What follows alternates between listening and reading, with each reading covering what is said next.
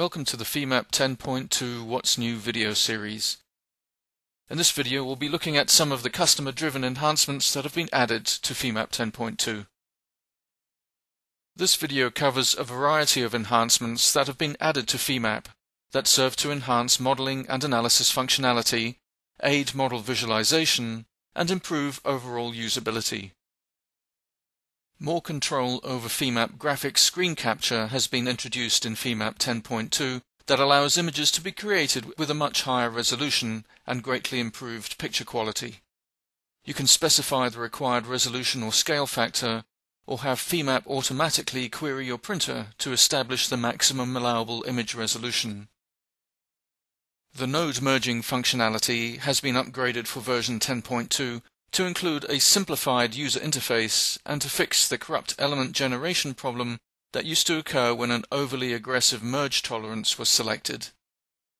Also, it's now possible to preview node merging while interactively modifying the merge tolerance, and the node listing has also been simplified. There is a new distance measuring tool in the new FEMAP release that allows you to measure the distance between nodes in your FEA model.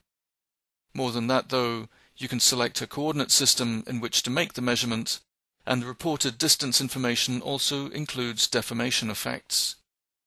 The resulting measurement data is printed to the Messages pane. FEMAP 10.2 includes a new contour plotting algorithm for quad elements.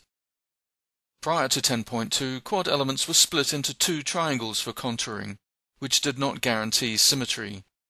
However, with 10.2, the new algorithm splits quad elements into four triangles, giving a much higher quality contour plot that assures symmetry. A new mouse-controlled interactive model clipping plane is now available. With model clipping switched on, the clipping plane can be dynamically controlled using the Alt key and the middle mouse button. The quick model clipping plane uses OpenGL, so for solid models you'll only see the model surface outline.